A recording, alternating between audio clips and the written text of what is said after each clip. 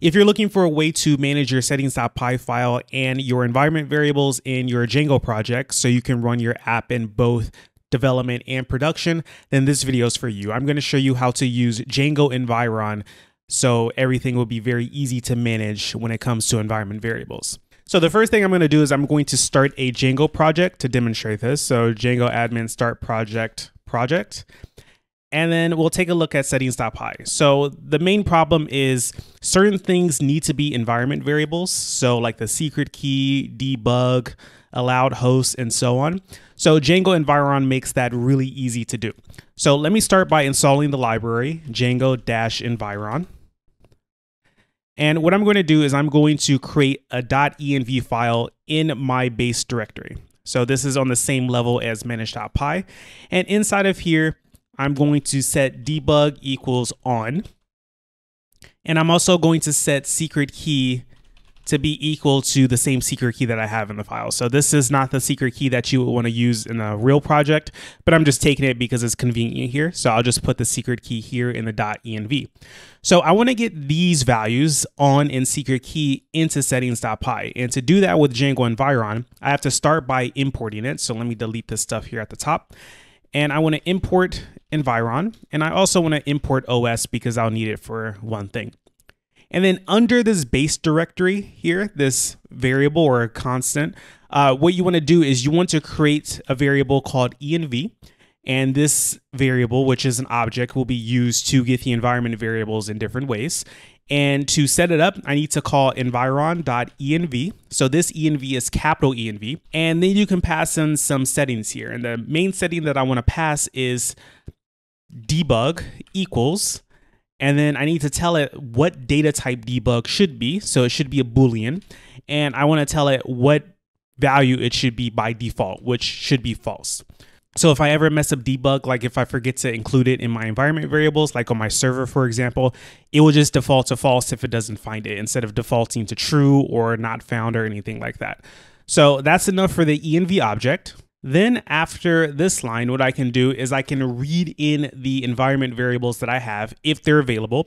So in development, you can have a .env file. And by the way, you don't want to commit this .env file to your repo or anything like that. Um, you want to put it in your git ignore if you have that. Uh, this should be only for your development environment. And then your production environment should be different. Like your environment variables should be stored in the actual environment. But here in dev, I need to be able to read it. So I'm going to call environ env. So the same thing here to start, but instead of initializing something, I'm going to call read underscore env. Then I'm going to pass in the location of it. So it's os.path.join, and it's going to be the base directory joined with .env. So now once the Django app starts, it will read in the env file. It will take in debug and secret key. And then if I want to use those somewhere in the settings.py, for line 19, for example, for a debug, what I can do is instead of having true, I can do env and then the name of the environment variable. So debug, which matches the key here. And by the way, notice that I have on here. There are a few different values that mean true in Django Environ. So on is one of them. You have true, both uppercase and lowercase. Uh, you have okay, you have yes, you have y, and then you have the number one. So any of those values will translate to be true when it comes to debug. If you put any other value, it's going to be false. So just keep that in mind. So on or okay or yes or true, whatever works for you in the environment file should be fine. So now let me try starting my Django app. So Python manage.py run server, and we see it turns on just fine. So now let me try putting debug off. So let's just say off. Like I said, anything that is not what I mentioned before will be false. So if I run it now, we see you must set settings allow host if debug is false. So now it's reading that debug is false because I changed it to something that wasn't in that list of things that I mentioned before. It's no longer on, it's off. So we see allowed hosts, and if I go here, allowed host is an empty string. So typically when you have debug mode off, you need to supply a list of allowed hosts. That's just the default way that Django works. So what I can do is in here, I can go and create allowed hosts, and then I can supply a list of allowed hosts. So typically in development, you'd have two, so local hosts, and 127001. So these will be comma separated and there's no space after the comma or before the comma, just comma separated like this. So localhost 127001 and then anything else you may need. But in my case, I only need these two things. So now let's go to settings and let's update allowed host to take from that. So it's a little bit different. I just can't call env and then allowed host. Django Environ needs to convert the comma separated string into a list. So to do that, I can do env.list and then pass in the name of the key, so allowed hosts. And then I can also pass in a default just in case I have nothing there, which should be an empty list. So now let me try to run the server and we see it starts up again because I have the allowed host defined. Next, let's think about databases. That's another important thing that you will need to set up in your settings.py. So right now my database is set as a SQLite database and we see the default database is base directory slash db SQLite 3. So to get this to work, let me go to env and what I'll do is I'll create something called database URL. So this name is actually important because it's the default name and normally it's convention to use database URL for the location of your database. And then you can pass on the location of your database. So it's a SQLite database followed by three slashes and then DB SQLite 3. And this just represents a file in the exact location that it is. Then I can go back to settings.py and I want to update this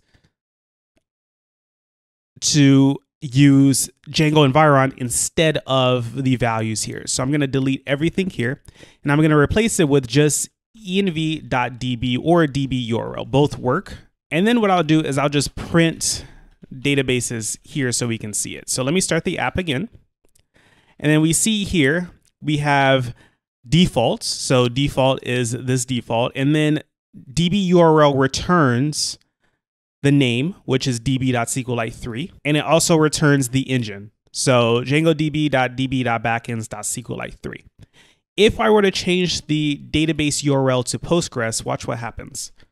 So first, notice the engine, so db backend SQLite 3.